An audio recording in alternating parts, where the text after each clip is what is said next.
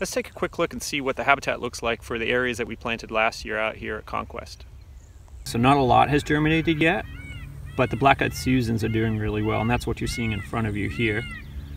And over here, we can see some wild bergamot coming up. Both of these species are going to be great for pollinators as the season progresses, and as the air temperature and soil temperature increase, lots of other diverse native wildflowers and grasses will start to germinate and fill in the grassland.